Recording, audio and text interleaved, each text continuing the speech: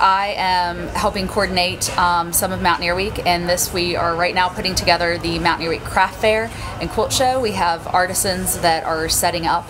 Um, they will be uh, displaying and selling their artwork starting Friday through Sunday, um, and they'll be here throughout the day. Mountaineer Week in general is celebrating the Appalachian heritage and culture of West Virginia, and the arts and crafts has just always been something that um, was really a main focus of people that lived here in West Virginia, and it's just something that we like to see as it continues and has kind of expanded.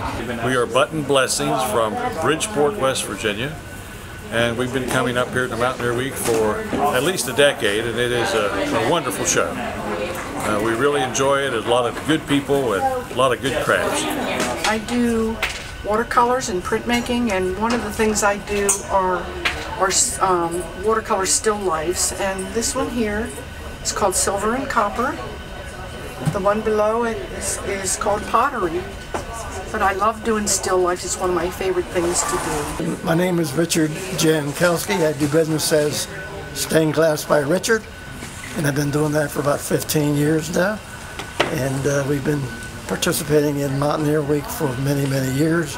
I think it's one of the most wonderful areas to my knowledge. My grandson is going to college here, so we're very happy to be part of this whole organization.